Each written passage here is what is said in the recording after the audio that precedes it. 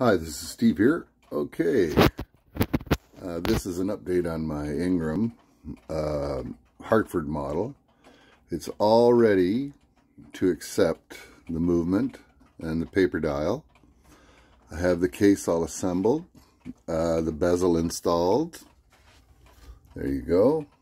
And of course the bezel was polished. I replaced the window uh, on the uh, lower glass.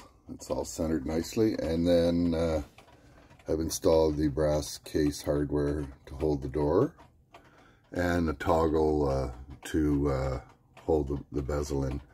So it turned out really nice. Um, can't wait for this to be finished. Anyways, uh, the finish is just hardening now on the wall. I'll leave it about a week before I start rubbing on it uh, when it's hardened up. And uh, the movement I just spoke to my horologist John Deland and he's um, progressing with the movement. It's almost done.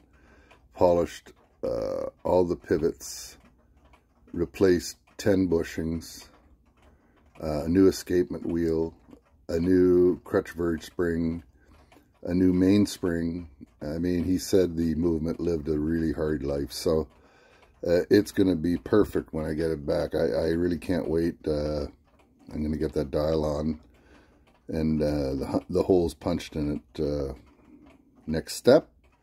So right now it's it's all done there. Here's a picture of the side. Turned out really nice. Really, really nice. There's all the moldings there. Came out really nice. A nice honey gold oak color. Um, once it's hardened up, I'll, I'll uh, rub it with paste wax and 4-aught steel wool. And it's going to be just gorgeous. So uh, that's the update on the Ingraham Hartford. Um, it's going to be a beautiful clock. And it's going to run for years. So that's it for now. Talk to you later. Bye.